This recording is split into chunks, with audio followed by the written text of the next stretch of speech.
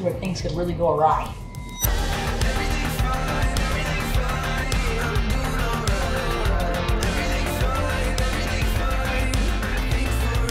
What's going on guys? Welcome back to the channel. Things have finally settled down a bit and I'm going to attempt to mount the Ecotech battery backup inside of my cabinet. There's a couple different options that I'm gonna attempt. The first and easiest option is I'm gonna attempt to Velcro it up first with like super strong Velcro pads that I have. Like I said, the thing is super heavy, so I'm not sure if that's gonna work or not. If it works, great, so I don't have to screw into the cabinet at all. If not, I have some, you know, tools I'm sorry, my Roomba is over here just making a bunch of noise, but we're just gonna keep on going. Also have some tools and screws if we have to mount it onto the hardware. I'm gonna call in some reinforcements. Look at them work. Hey, hey, hey, watch the tank. Dang, just banging into my shit like that. So the tank is doing good. I was away for about a week and uh, luckily everything everything stayed stayed pretty good. I'm still getting a little bit of recession on the Scoly more so in this corner now. It like filled in over here, but it's going a little bit deeper there. So I'm not sure if it's, I don't know what it is. I, am to just try to up the feeding a little bit more and see if that helps. I have a nice little apothecia garden going right here. Um, so that's that's cool. Everyone has really fully expanded and is just loving life. Like the reverse hammer really seems happy over there. It's got super long tentacles.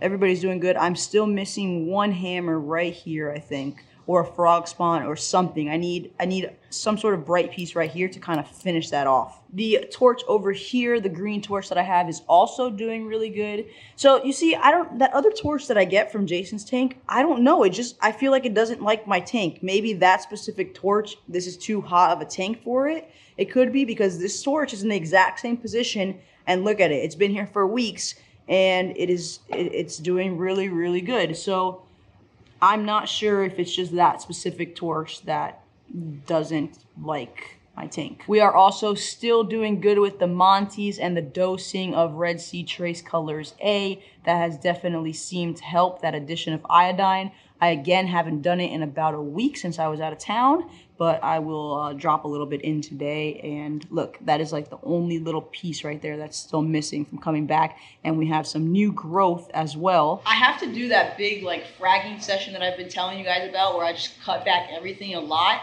The problem is that for some reason, uh, I have my frag, my frag tank that you guys know about, and I have some good corals in there relatively cheap, like 20 to 25 bucks for loaded up frags.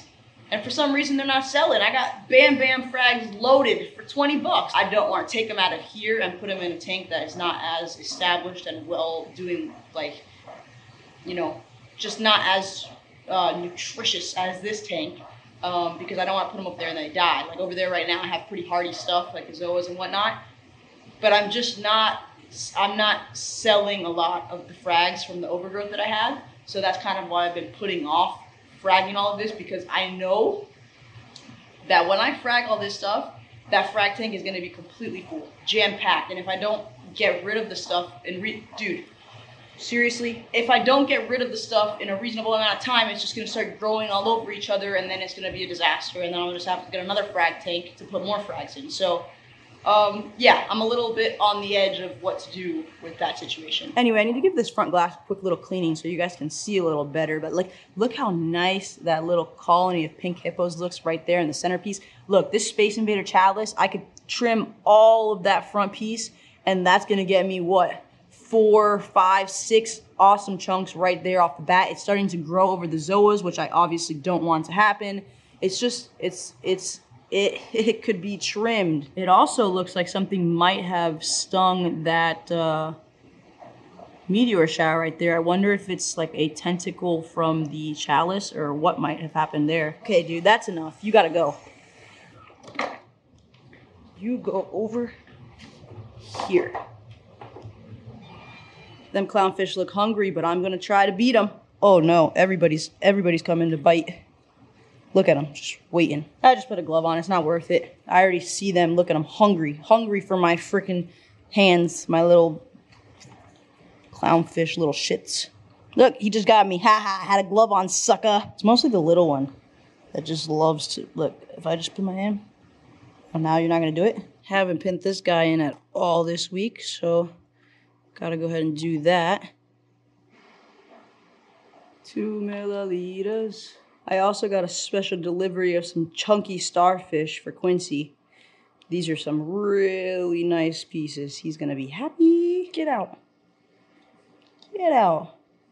Whoa. Now that all the fun maintenance is done, we can finally, wow, you saw how my hair just did that? We can finally get on with mounting the battery backup. If you guys are new here, hit the subscribe button, turn those notifications on. See what we're working with here. Oh, oh, what battery backup? Oh, the one that's back there. Green means go. If we do mount it with the screws to mount it like in between that gap, yeah. I was just gonna put it like right. Boop, boop, boop. This is my Velcro here. Jason said he read something online that's this, a Velcro could hold 175 pounds. They are really nice Velcro, Velcro like pads. Look, look. Let me see the other side. What other side? This? They're strong. Look, try try to rip off that. Look, there you go. That's part of my Try to rip off that thing so you can see how strong it is. Look at this. Well, I'm not the creator of this, but the strength is coming from pulling. Or pulling, right? This way. Right, but I'm worried that it's going to come off of the wall. No. Like the sticky portion. Not necessarily the Velcro to Velcro. I'm scared that the whole thing, like if this is the back wall, I'm scared that the whole thing is going to come off of the back wall. Like the sticky? Correct. That's, what worries. That's what worries me because the Velcro. I know from this thing, these Velcros. I'm like pulling this and it doesn't come off. Like I'm, i feel like I'm gonna rip that controller in half to yeah, take it off. I think it'll be fine. So we just looked at the uh, Amazon purchase for the Velcro that I did like a year ago, and it doesn't say like a specific weight requirement, but there was a lady that posted her cat hanging off the ledge and says that it holds her nine pound cat. So I mean, we should be okay. Jason just brought it to my attention. I should probably clarify. She's not strapping her actual cat to the wall. She is strapping a bed to the wall and then the cat can jump into the bed. Not, there's no Velcro on the actual cat, just to be clear. This thing is so heavy. I don't know, dude. I'm, I'm nervous for the Velcro, to be honest. It's so heavy. It's just flat. It's fine. It'll be fine. You just need something to put it, like, something to rest it on and just stick it on there and just let it. So heavy, this thing. You think, what about this uh, anemone box? An anemone box. You know, an anemone box. It's perfect. It's too high? I don't think so. Okay, then look. You think it's too high? The wires have to be able to plug in. They're like. Yeah. I think that's pretty good, huh? Yeah, perfect. I was planning to just put this whole strip. Like, I'd rather it be stronger. So maybe like one here, one here, and then like one at the top, like three. the majority of the weight from the top. So top, yeah. top, and then bottom, like that. Like two top, top, bottom, and then one down here, right? Mm-hmm. And we think that holds. Yeah. All right, let's send it. I mean, what's the worst case scenario here? It falls off the thing and just breaks the plugs. No fire. I don't think so. Okay. It's in the back, so I don't think it would reach to hit these bottles over. So it should be okay. We got some handy dandy alcohol.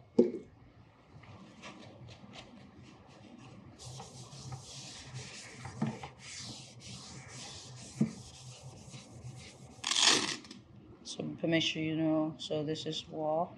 I'm putting the pieces together so that way they line up against the wall.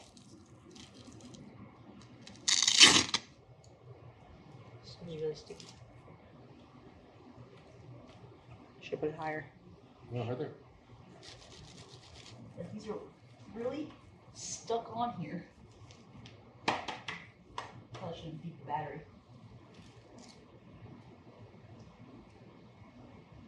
This is where things could really go awry. Say that word. Awry. I don't even know if I used that properly. I think so. Did I use that word properly? Okay. Okay. Here we go. I turn it around and I stick it to my and I stick it to my towel. Slide. Slide. Slide. Beep. Beep. We've hit the back wall. Alright. Here we go.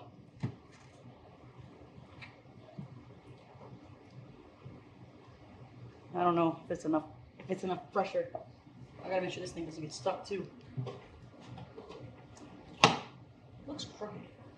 Well, because you had the plugs on the other side. What plugs? The plugs on Oh the bottom. shit! I forgot. Oh no. Remember when I said things could really go awry? yep. Think we done did it. Oh shit, it's kind of stuck. Peel it off. I'm trying. My fingers don't fit in there. I think we're gonna be okay with the strength of this thing. Uh oh. I forgot to calculate for the bottom of the thing for the plugs to go in. Watch how tight that is in there.